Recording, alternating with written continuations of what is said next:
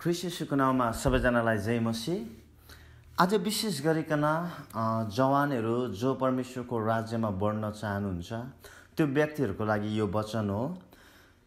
तपाईँ र मैले लुक्काको अठार अध्यायमा हेऱ्यौँ भने यहाँनिर एकजना व्यक्तिको विषयमा पाउँछौँ जसलाई हामी बाइबलमा धनी शासक भनेर विषय राखिदिएको छ। यहाँनिर तपाईँले हेर्नुभयो भने लुक्का अठारको अठारदेखि तपाईँले पाउनुहुन्छ यो धनी शासकको विषयमा। कोही एकजना शासकले यसुलाई यसो भनेर सोधे हे असल गुरु अनन्त जीवन पाउनलाई मैले के गरौँ? यसुले तिमीलाई भन्नुभयो तिमी मलाई किन असल भन्दछौ? एक परमेश्वर बाहेक असल छैन। तिमी आज्ञाहरू त जान्दछौ व्यविचार नगर्नु हत्या नगर्नु नचोर्नु झुटो गवाई नद नदिनु आफ्नो बुबा र आमाको आदर गर्नु। तिनले भने यी सब त मैले युवा अवस्थादेखि नै पालन गरेको छु यो सुनेपछि यसुले तिमीलाई भन्नुभयो तिमीलाई अझ एक कुराको अभाव छ। तिमीसँग भएको जे जति छन् ती सबै बेचेर गरिबहरूलाई बाँडिदेऊ र तिमीलाई स्वर्गीयमा धन हुनेछ र आऊ र मेरो पछि लाग। तर यी कुरा सुनेर ती शासक अति उदास भए किनभने तिनी अत्यन्तै धनी थिए। यहाँबाट म विशेष जवानहरूलाई अथवा जो व्यक्ति परमेश्वरको राज्यमा बढ्न चाहनुहुन्छ तपाईँहरूलाई म केही टिप्स दिन चाहन्छु अथवा मैले यहाँबाट पाएको उत्साहको कुरो यहाँबाट यसुले मलाई सिकाउनु भएको कुरो तपाईँलाई म बताउन चाहन्छु। जुन धनी शासक थियो यो धनी शासकलाई परमेश्वरको राज्यमा आउनको निम्ति अथवा यसुलाई पछ्याउनको निम्ति एउटा ठुलो समस्या थियो अनि जुन समस्या चाहिँ धेरै धन सम्पत्ति थियो। यशु क्रिस्टले भन्नुभयो तिमीले सबै पालन गरेको रहेछौ तरै पनि तिमीलाई एउटा कुराको अझै पनि कमी छ। त्यो चाहिँ के हो त? त्यो चाहिँ तिमीसँग भएको धन सम्पत्ति दरिद्रहरूलाई बाँडिदेऊ र मेरो पछि लाग। यो चाहिँ जवानलाई परमेश्वरको राज्यमा अथवा यसोलाई पछ्याउनको निम्ति धेरै ठुलो समस्याको कुरो बनेको छ। अनि त्यसरी नै आजको यो अवस्थामा हामी जवानहरूलाई अनि हुनसक्छ यो जवानको ठाउँमा तपाईँले आफैलाई आफैलाई राख्नुहोस्। तपाईँलाई पनि सायदै कहीँ न कहीँ एउटा यस्तो खालको कुरा हुनसक्छ जसले तपाईँलाई परमेश्वरको राज्यमा काम गर्नको निम्ति बाधा दिइरहेको छ। तपाईँलाई एउटा यस्तो खालको समस्या एउटा यस्तो खालको समस्या हुनसक्छ जुन समस्याले तपाईँलाई परमेश्वरलाई चाहेर पनि पछ्याउन सक्नुभएको छैन। ल तपाईँ परमेश्वरको राज्यमा एउटा प्रचारकको रूपमा देखिन चाहनुहुन्छ तर तपाईँमा एउटा यस्तो खालको समस्या छ जुन समस्याको कारणले गर्दा तपाईँ त्यो ठाउँमा पुग्न सक्नुभएको छैन। हुनसक्छ तपाईँ परमेश्वरको राज्यमा असल सेवकाई सेवक बन्न चाहनुहुन्छ। तर तपाईँमा एउटा यस्तो खालको समस्या छ जुन समस्याले तपाईँलाई त्यो राज्यमा पुग्न दिइरहेको छैन र त्यो असल सेवक बन्न दिइरहेको छैन।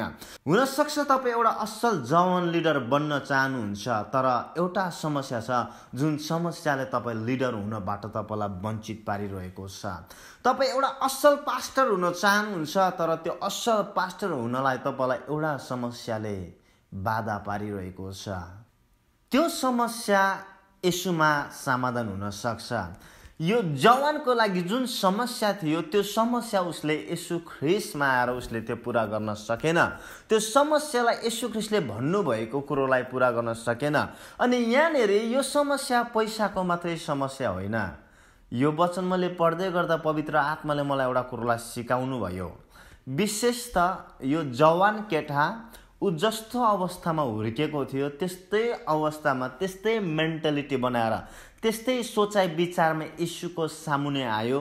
अनि यसरी भनिरहेको छ मैले अनन्त जीवन पाउनलाई मैले के गर्नुपर्छ? What should I have to do to get eternal life what should I do अर्को भाषामा भन्ने हो भने मैले अनन्त जीवन कसरी किन्ने? यो जवानको भाषामा भन्ने हो भने he is trying to do something to earn eternal life मैले के गर्नुपर्छ? यसलाई अर्को भाषामा भन्नुपर्छ भने अनन्त जीवन पाउनको निम्ति मैले कति मूल्य चुकाउनु पर्ने अनन्त जीवन पाउनको निम्ति मैले कुन आज्ञालाई पालन गर्नुपर्ने? यो जवानले यो शासकले ऊ आफै एक धनी व्यक्ति थियो ऊ एउटा रुलर रुल गर्ने व्यक्ति थियो अनि उसले यसरी भन्दैछ मैले अनन्त जीवन पाउनलाई कति पैसा तिर्नुपर्छ? मैले अनन्त जीवन पाउनलाई मैले कुन आज्ञालाई पालन गर्नुपर्छ? कसरी म अनन्त जीवनलाई कमाउन सक्दछु? यसो कृष्णले भन्नुहुन्छ तिमी अनन्त जीवन कमाउन चाहन्छौ? ठिकै छ। तिमीसँग भएको सबै धन सम्पत्ति दरिद्रलाई देऊ र मेरो पछि लागा। प्रिय अनन्त जीवन भन्ने कुरो नि कमाएर कमाउने कुरो होइन। यो अनन्त जीवन कमाएर कमाउन सकिने कुरो होइन तर यो त अनन्त जीवन भन्ने कुरो यसु ख्रिस्टमा। यदि यो जवानले नि यसु ख्रिस्ट चाहिँ परमेश्वरको पुत्र हुनुहुन्छ भन्ने कुरो यो जवान शासकलाई थाहा थियो भने यसले जवान यो जवान शासकले यसु ख्रिस्टलाई अनन्त जीवन पाउनलाई मैले के गर्नुपर्छ भनेर सोध्ने थिएन तर घुड्डामा आएर मेरो पापहरूलाई क्षमा गर्नुहोस् र मलाई तपाईँमा भएको अनन्तता जीवन दिनुहोस्। यदि यो जवानले यसुलाई चिनेको भए जवानले यसुको अगाडि आएर घुन्डामा आएर उसले पापको प्रयाश्चित गर्थ्यो तर उसले अनन्त जीवन कमाउनलाई मूल्य के गर्नुपर्छ मैले कति के मूल्य चुकाउनुपर्छ सोध्ने थिएन। तपाईँलाई एउटा कुरालाई बताउँ। पावलले तपाईँले बाइबलमा हेर्नु भने यहाँनिर पाउनुहुन्छ। फिलिपी तिनको पाँचमा तपाईँले हेर्नु भने पाउनुहुन्छ। यहाँ एकजना पावल भन्ने व्यक्ति छ। जुन पावल भन्ने व्यक्तिले यो जवानले भन्दा पनि धेरै काम गरेको छ। यो जवानले सानै युवा अवस्थादेखि नै आज्ञा पालन व्यवस्था पालन गरेर आएको छ। यहाँनिर त्यस्तै एकजना जवान व्यक्ति छ जसको नाम हामी पावल भनेर चिन्न सक्छौँ। त्यो पावलले जसले व्यवस्था पालन गरेको थियो त्यो पावल यसरी भन्छ फिलिपी तिनको पाँचदेखि आठौँ दिनमा मेरो खतना भएको हो। म इजरायल जातिको बेनामिन कुलको हुँ। हिब्रूको पनि हिब्रू व्यवस्थाको विषयमा हो भने म एक फरिसी। जोसको विषयमा हो भने मण्डलीलाई सताउने धार्मिकताको विषयमा हो भने व्यवस्था भएको धार्मिकता बमोजिम निष्खोट ठहरिएको हुँ। तर जति कुरा मेरो निम्ति लाभदायक थिए ती सबै ती मैले ख्रिसको खातिर हानि नै ठाने। साँच्चै भन्ने हो भने ख्रिस यसु मेरो प्रभुलाई चिन्न पाउने अमूल्य कुराको तुलनामा सबै कुरालाई म हानि नै ठान्दछु। ख्रिसलाई प्राप्त गर्न सकौँ भनेर उहाँको निम्ति मैले सबै कुराको नोक्सानी भोगेको छु अनि ती सबैलाई फोहोर नै फोहोर मैला तुल्य म गन्दछु र सम्पूर्ण रूपले म उहाँमा भएको पाइन सक भएको पाइन सकौँ व्यवस्थामाथि आधारित भएको मेरो आफ्नै धार्मिकता होइन। यो जवानले व्यवस्थाबाट अनन्त जीवन कमाउन खोजिरहेको थियो तर पावलले यहाँनिर सारी भन्छ व्यवस्थामाथि आधारित भएको मेरो आफ्नो धार्मिकता होइन तर मेरो धार्मिकता त यही हो जो ख्रिसमाथि निर्भर निर्भर हुन्छ। जुन पावलले व्यवस्था सबै पालन गरेर आएको थियो तर त्यो व्यवस्था पालन गर्ने पावलले पनि अन्त्यमा आएर उसको धार्मिकता उसको उद्धार उसको सबै थोक चाहिँ यसुमा आएर पाउँदछ प्रियो। हामी कसैले पनि व्यवस्था पालन गरेर उद्धार पाउँछ भन्ने कुरो नसोच्दै हुन्छ।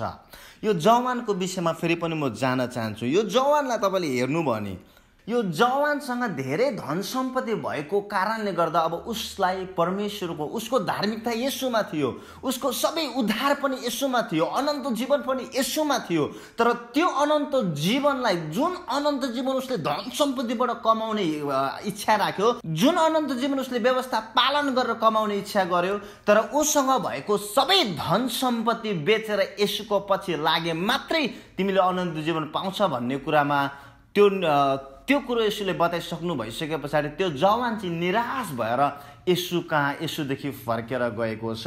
अनि त्यो जवानलाई हेरेर यसुले यसरी भन्नुहुन्छ धन सम्पत्ति हुनेहरूलाई परमेश्वरको राज्यभित्र प्रवेश गर्नु अति गाह्रो छ। किनभने धनी मानिसलाई परमेश्वरको राज्यमा प्रवेश गर्नुभन्दा त उठलाई सियोको नाथ्रीबाट छिर्नु सजिलो हुन्छ। यहाँनिर धनी व्यक्तिलाई परमेश्वरको राज्यमा छिर्नको निम्ति जोसँग धेरै धन सम्पत्ति छ अनि त्यो धन सम्पत्ति चाहिँ रित्याएर यसुको पछि लाग भन्दाखेरि नमान्ने यी धनी व्यक्तिहरूलाई चाहिँ परमेश्वरको राज्यमा नि छिर्नु चाहिँ कतिको धेरै असम्भव कतिको धेरै असम्भव भन्दा नि साह्रो छ भन्ने कुरोलाई चाहिँ एउटा सानो सियोको नात्रीमा जुन सियोको दुलोमा हामी त्यही धागो छिराउन पनि गाह्रो हुन्छ भने तर त्यो सियोको दुलोमा एउटा उठको उसलाई उठलाई सियोको नात्रीबाट छिर्नु सजिलो हुन्छ भनेर भन्छ तर धनी मानिसलाई चाहिँ यशुको राज्यमा आउनलाई गाह्रो हुन्छ। त्यति धेरै गाह्रोको कुरा छ। असम्भव भनेको छैन तर गाह्रो त्यति धेरै गाह्रो हुँदो रहेछ भन्ने कुरो यहाँनिर बताएको छ। जब यो वचन मैले पढिरहेको थिएँ अनि अहिले बितेको समयहरूमा मेरो आफ्नै श्रीमती केही मात्रामा बिरामी भएको कारणले गर्दाखेरि काममा जाँदाखेरि पनि म मेरो श्रीमतीको विषयमा मेरो श्रीमती के गरिरहेको होला घरमा निको भएको छ कि बिरामी नै छ त्यो टेन्सनमा त्यो सोचाइ विचारमा बसेको कारणले गर्दाखेरि म काम गर्दा पनि मेरो श्रीमती बिरामी छ मेरो श्रीमती बिरामी छ। म घरमै बस्दाखेरि पनि मेरो श्रीमती बिरामी छ। मलाई भित्र मनमा चेन भएन खुसी भएन। अनि पवित्र आत्मा परमेश्वरले जब यो वचन मलाई दिनुभयो अनि यो वचनबाट परमेश्वरले मलाई भन्नुभयो यो धनी शासकलाई परमेश्वरको राज्यमा आउनको निम्ति ठुलो समस्या उसमा भएको धन सम्पत्ति थियो।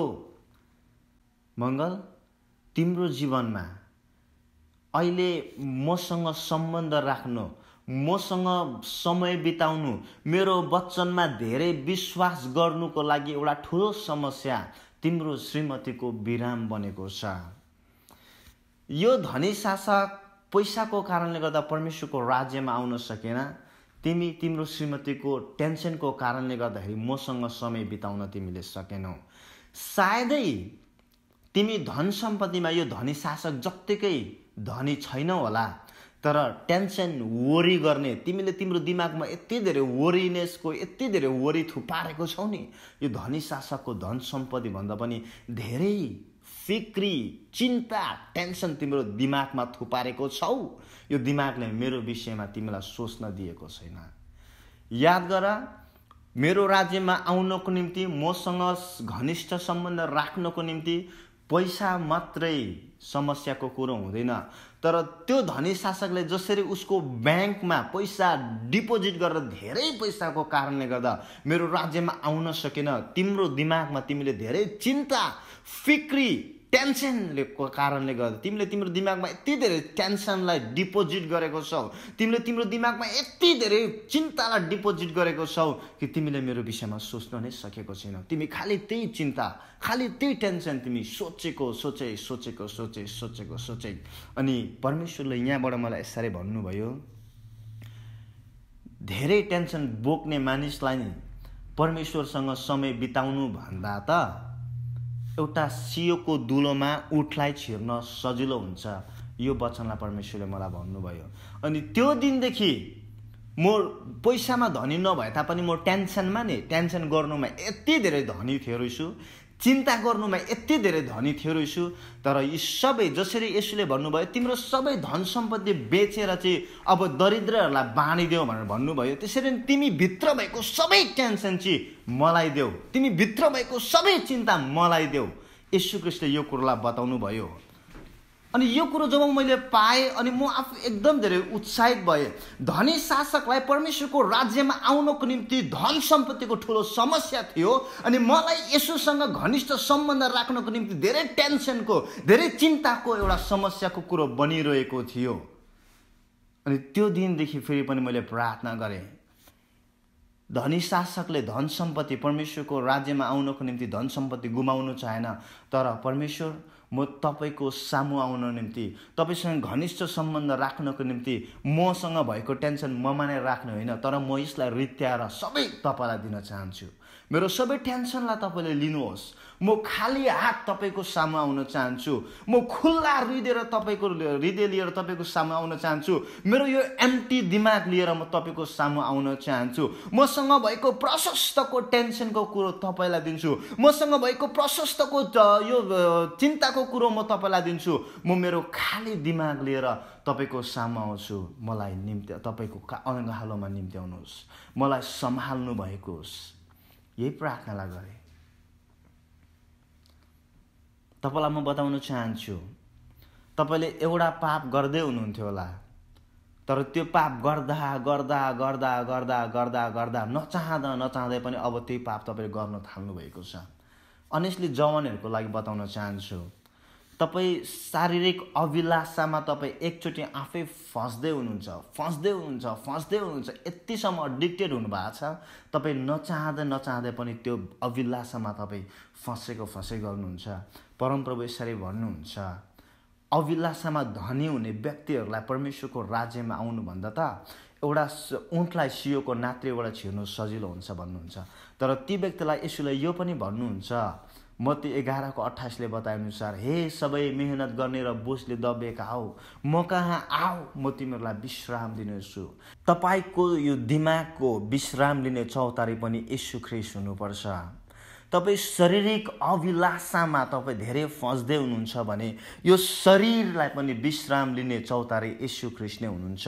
यो शरीर ख्रिस्टको मन्दिर हो अनि यसलाई तपाईँ आफैले बनाउने प्रयास नगर्नुहोस्। तर पवित्र आत्माको मन्दिर हो भने पवित्र आत्माले नै बनाउनुहुन्छ। यदि यो मन्दिरलाई कुनै पनि अन्धकारको शक्तिले शारीरिक अभिलाषाले शारीरिक चिन्ताले नष्ट गर्न चाहिरहेको छ भने त्यो चिन्ताको कुरोलाई पवित्र आत्माले नष्ट गर्नुहुन्छ। अभिलाषाको कुरोलाई पवित्र आत्माले नष्ट गर्नुहुन्छ तर पवित्र आत्माको यो मन्दिरलाई उहाँले सुरक्षित राख्नुहुन्छ। तपाईँको विश्राम लिने चौतारी यसुलाई बनाउनु भएको होस्। तपाईँको सबै चिन्ता फिक्री यसुमा सुम्पाउनु भएको होस् र उहाँले तपाईँको जीवनमा काम गर्नुहुनेछ। अन्त्यमा यो जवानबाट विशेष ठुलो कुरो मैले सिकेको कुरो तपाईँलाई बताउन चाहन्छु। यो जवान केटा यसुको अगाडि आएको छ। अनि त्यही लुक्का अठारमा तपाईँले यो जवान चाहिँ यशुको अगाडि आएको छ। अनि लुक्काको उन्नाइस अध्यायमा हेर्नु भने एउटा जखायस भन्ने कर उठाउने व्यक्ति यो पनि यसुकै अगाडि आएको छ।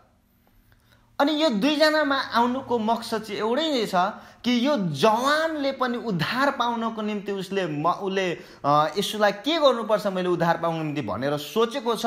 तर यो जखासले उद्धारको विषयमा भन्दा नि यसु ख्रिस को हुनुहुन्छ भन्ने विषयमा हेर्नु आएको छ। अर्को भाषामा हो भन्ने हो भने यो जवान केटा चाहिँ he came to Jesus Christ to see who he is ब Zacchaeus he came to Jesus Christ to see who Jesus actually is जवान शासक चाहिँ ऊ आफै धनी थियो ऊ व्यवस्था पालन गर्ने मै हुँ भनेर यसु ख्रिस्टको अगाडि ऊ को? म चाहिँ को भनेर उसले यसुलाई उसको घमण्डीपनले ऊ यसुलाई म यस्तो हो भनेर देखाउन आयो। तर जखायस चाहिँ म को हुँ भन्दा नि यसु ख्रिस्ट को हुनुहुन्छ? त्यो हेर्ने हिसाबमा आयो। धेरैचोटि तपाईँ र म चाहिँ नि हेर्नुभन्दा यसोलाई हेर्नुभन्दा पनि म को भनेर देखाउनको निम्ति परमेश्वरको उपस्थितिमा आइरहेको हुन्छौँ। जब हामी मण्डलीमा मान्छेहरूको बिचमा प्रार्थना गर्छौँ म साँच्चीकै धर्मी हो आत्मिक हो भन्ने हिसाबमा हामी मान्छेलाई देखाउनको निम्ति प्रार्थना नगरौँ। तपाईँ कन्फरेन्समा जानुहुन्छ सेमिनारहरूतिर जानुहुन्छ अथवा कुनै पनि सेवकाइतिर जानुहुन्छ never try to show yourself in public but try to show Jesus through you तपाईँ आफै को हुनुहुन्छ घमण्डीको साथ कसैलाई देखाउनु नखोज्नुहोस्। तर तपाईँ भित्र बास गर्नुहुने यसुलाई अरूको बिचमा देखाउनुहोस्। परमेश्वरले तपाईँको जीवनमा काम गर्नुहुन्छ। जवान शासकले यसु ख्रिस्टलाई म सबैभन्दा म एकदम आज्ञा पालन गर्ने हो।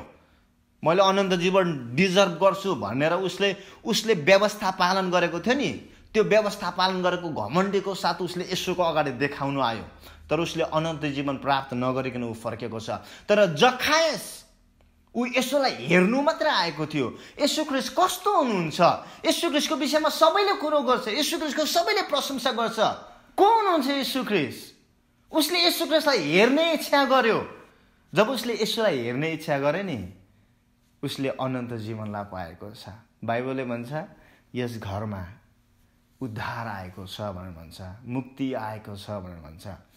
तपाईँ जहिले पनि परमेश्वरको उपस्थितिमा जानु हुँदाखेरि तपाईँले बाइबलमै पाउनुहुन्छ त्यही लुक्काको अठार अध्यायको तपाईँले नौमा हेर्नुभयो भने फरेसी र कर उठाउनेको दृष्टान्त पाउनुहुन्छ। फरेसीले प्रभु म अरू मान्छे जस्तो धुतिया छुइनँ अरू मान्छे जस्तै म पापी छुइनँ म धर्मी छु म उपवास बस्छु म दिनमा यसरी प्रार्थना गर्छु।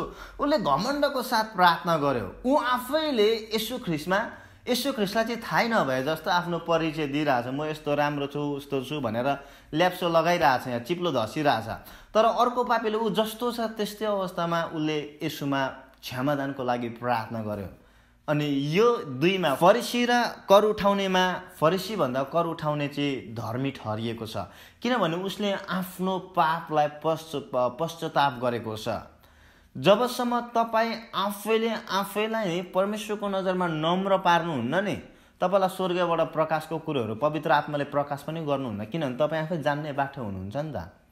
तर जब तपाईँ म जान्दिनँ पवित्र आत्मा मलाई सिकाउनुहोस् भन्नुहुन्छ नि पवित्र आत्माले यति धेरै खुसी भएर सिकाउनुहुन्छ नि। तपाईँले एक्सपेक्ट गरे भन्दा पनि धेरै उहाँले तपाईँलाई बताउनुहुन्छ। तपाईँ कुनै पनि ठाउँमा जानु हुँदाखेरि तपाईँको परिचय होइन तर तपाईँ यसुको परिचय तपाईँको जीवनबाट होस् तपाईँको बोलीबाट बोली वचनबाट मात्रै होइन तर तपाईँको जिउने तरिकाबाट पनि यसुको परिचय भइरहेको होस्। यहाँ जवान केटाबाट विशेष सिक्नुपर्ने जवानले जस्तै परमेश्वरबाट आशिष परमेश्वरबाट चङ्गाई परमेश्वरबाट धार्मिकता प्रेम कहिले पनि हामी काम गरेर कमाउने हिसाबमा परमेश्वरको सामु कहिले पनि नजाउँ। अनि अर्को भाषामा अर्को कुरो चाहिँ जवानले जस्तो मै हुँ भनेर कहिले पनि देखाउने परमेश्वरको राज्यमा त्यस्तो चल्दैन। नम्र व्यक्तिहरूले संसारमा संसारलाई राज्य अधिकार गर्नेछ भनेर भन्छ। तपाईँ आफैले आफैलाई नम्र तुल्याउनुहोस्। तपाईँ आफैले आफैलाई पवित्र आत्माको सामु लानुहोस् र पवित्र आत्मालाई सहायता इभन तपाईँले जानेको कुरोहरूमा पनि पवित्र आत्मालाई सहायता माग्नु भएको होस् ताकि तपाईँले सोचे भन्दा पनि तपाईँले प्रिपेयर गरे भन्दा पनि राम्रो जीवन तपाईँले जिउन सकोस् भनेर। सबैलाई जय मसी